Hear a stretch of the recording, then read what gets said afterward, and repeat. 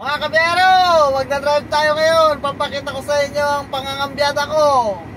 Pakita mo muna doon, kabiyero. Ayan, nandito tayo sa South Luzon Expressway.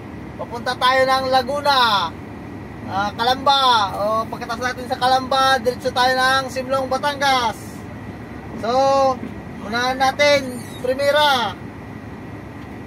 Ayan, Primera, tingnan natin. Dito, pakita ko. Ayan, Primera. Primera yan ha. Primera yung cambio. Ayan o. Oh, cambio natin ng Primera o. Oh. oh, ayun ang Primera. Hawakan mo na boy. Umpisa tayo sa cambio. Ayan, Primera yun. Pasok na sa Primera. Ayan o. Oh, Daan-daan lang. Pakita mo muna doon boy. Oh, segunda naman. Oh, ganun lang kasimple. Oh, tercera.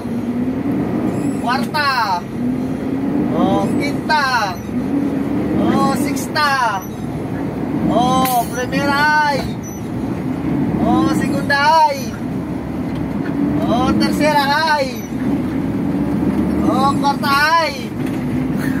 Oh, quinta ay. Oh, ang panghuling kampyo. Sixta ay, mga kabyahero. Oh, ubos na yung kampyo. Dire-diretso na yan. Doon, doon. Oh, di ba? Medyo matulin na. Yan, ganito ako magkambyo ng CNC truck. Mga kabiyero. Ubus-ubusan talaga. Oh, ubos yung kambyo. ah, okay na. Okay na yan, kabiyero. Maraming salamat.